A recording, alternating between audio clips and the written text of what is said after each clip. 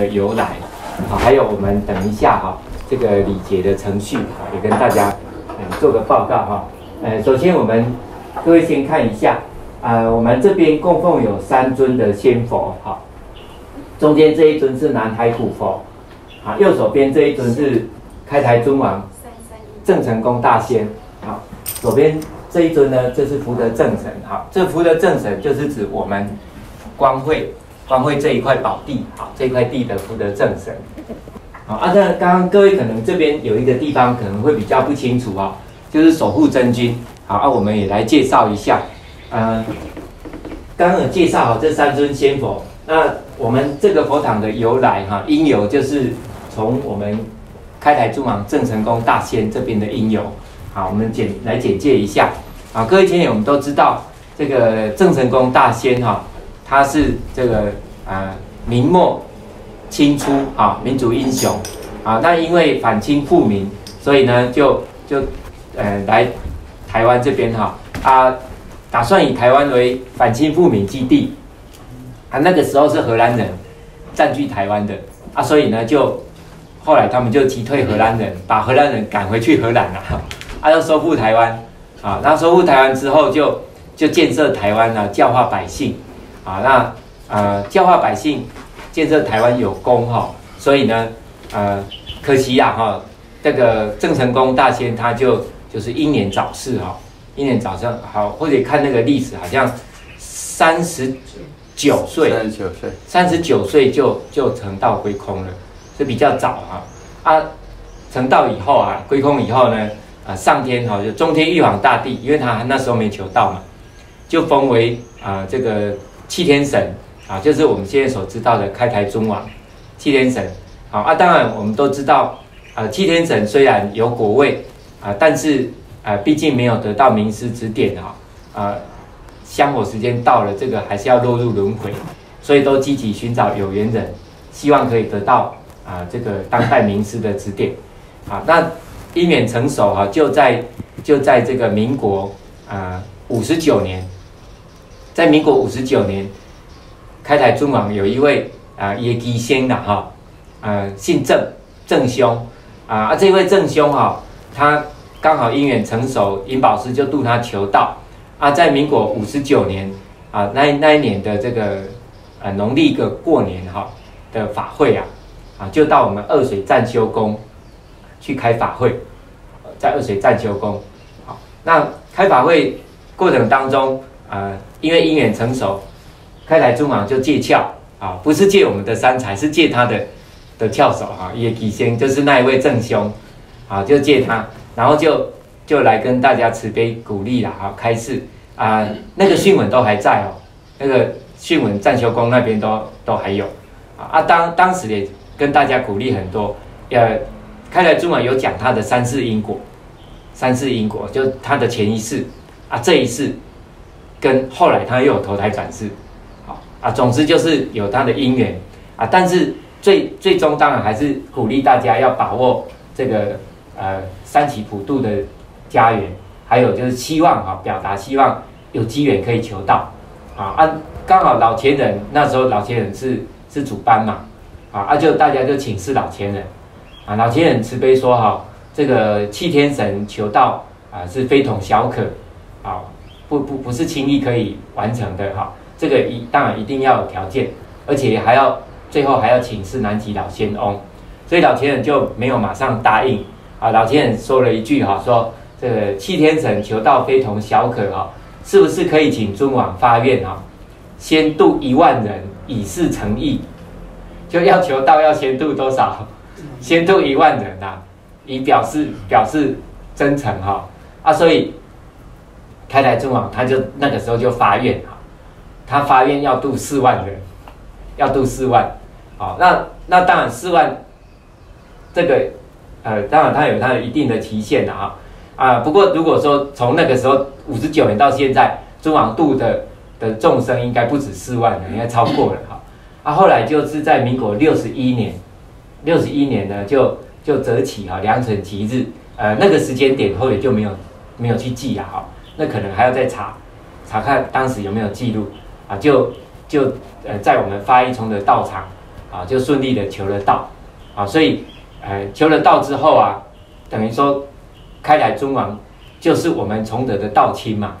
啊啊，所以他有发一个愿，就是要要永久护持崇德道场，啊，这是这是他他发的一个愿，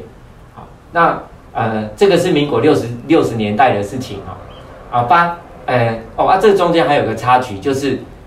尊王不是发愿要度度万人吗？那怎么渡呢？那时候溪口开元电影还没盖，那时候就是在大甲铁砧山那边。好，如果各位有听早期前期有讲过，在大概在民国五十九年开始，开台中网就在大甲铁砧山那边哈，那边那那没有庙哦。后者听光会谢谢坤德谢点安师啊有讲过，他说那时候他还念逢甲大学，他们都骑摩托车去 去大甲铁山，就是搭那个帐篷。搭帐篷就在的底下板书啊，哦，就是替众生解决疑难杂症，当然最重要是渡人啊，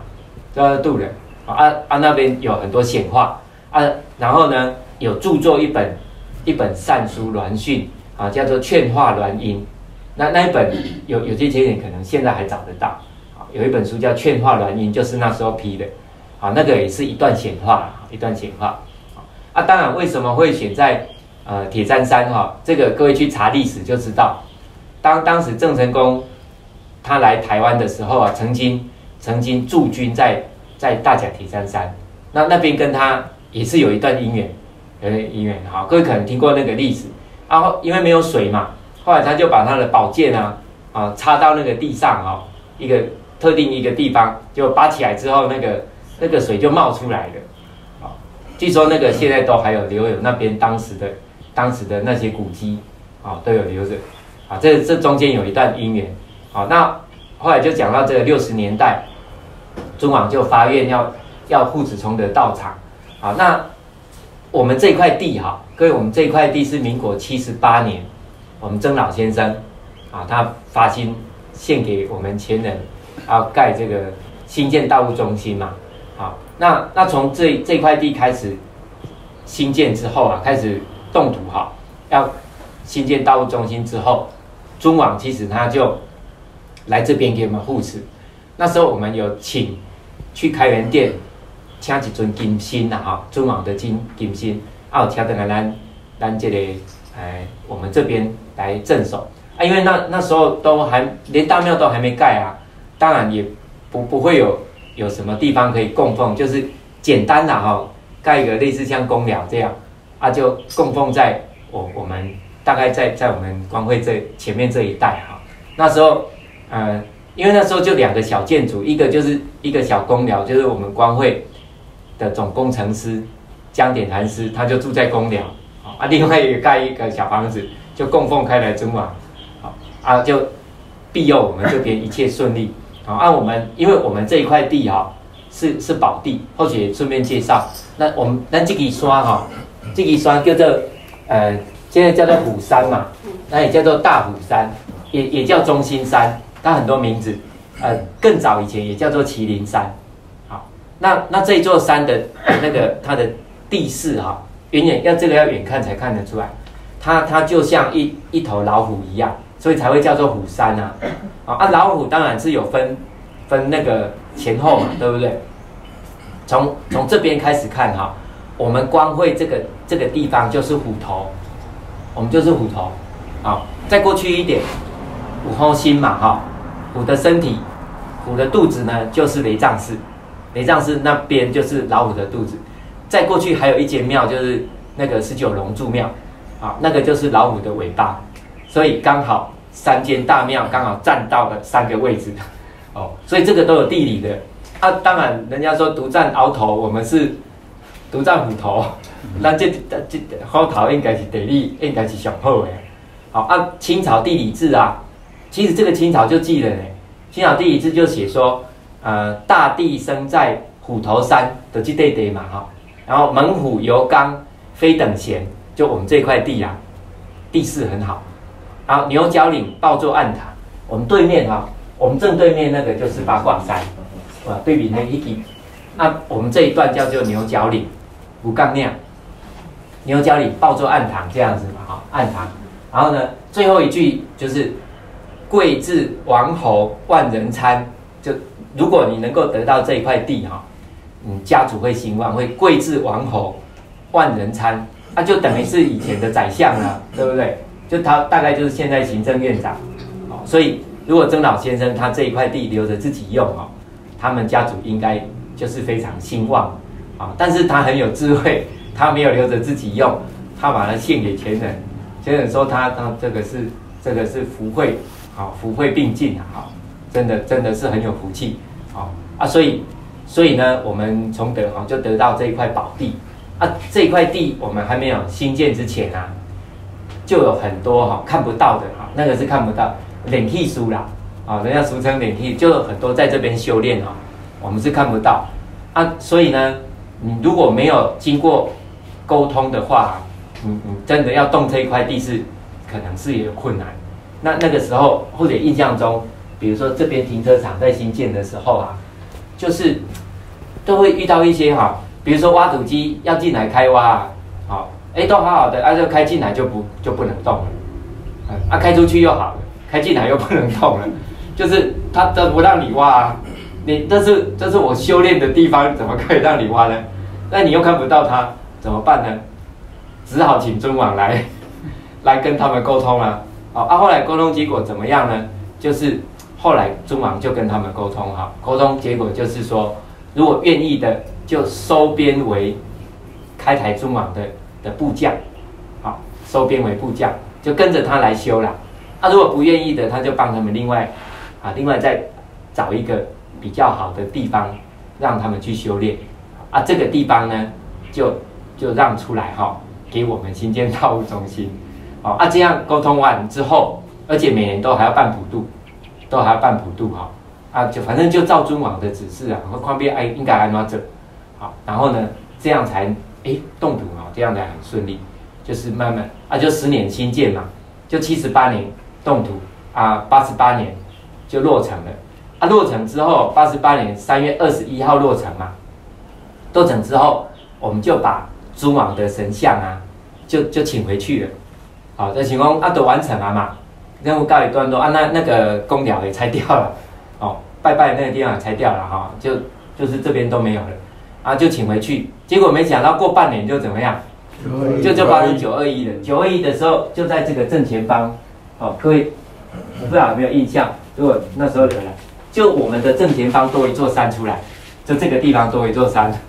好，就是那个断层带啊，从南开科大，好，人家说那个断层带啊，就走过我们前面，从这里延伸到中心新村，好像走过去，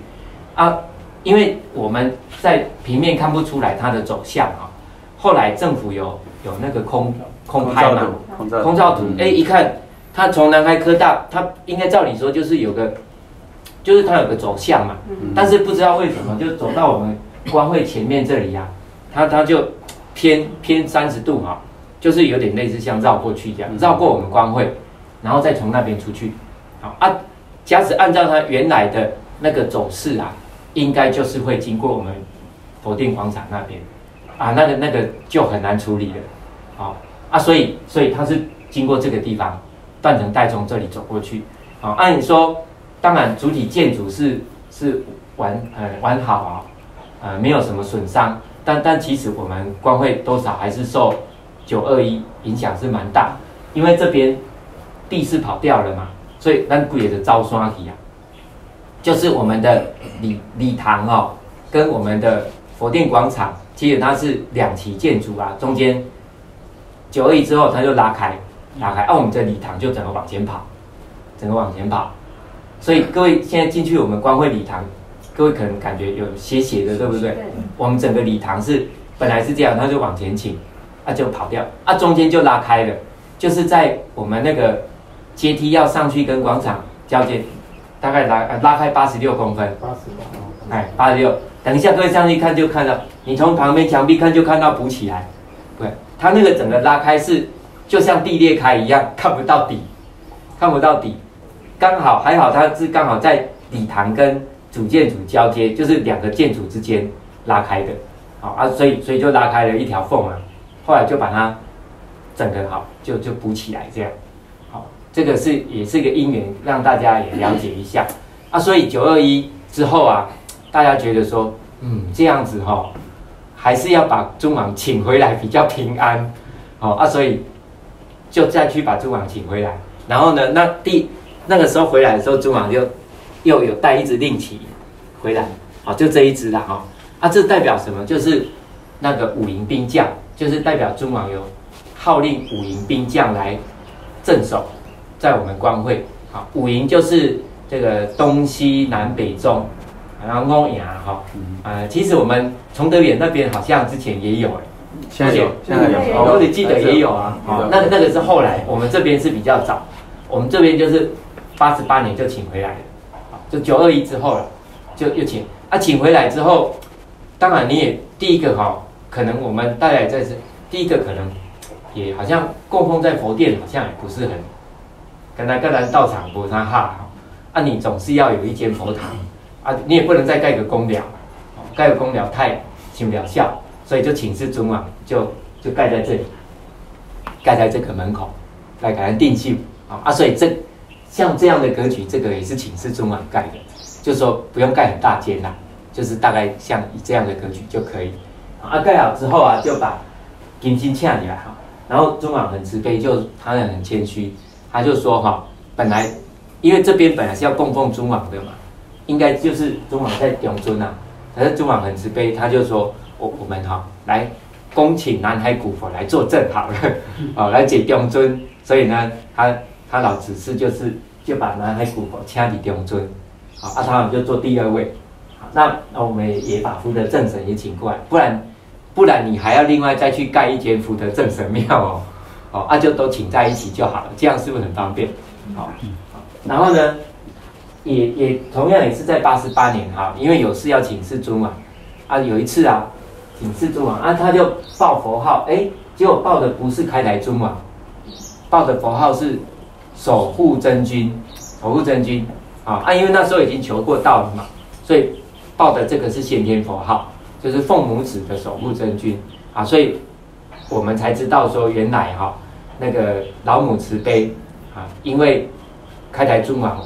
护佑道场有功啊护持道场有功，所以呢老母慈悲封为这个。守护真君啊，这个先天国位，啊、所以这个守护真君就是就是开来尊王，啊、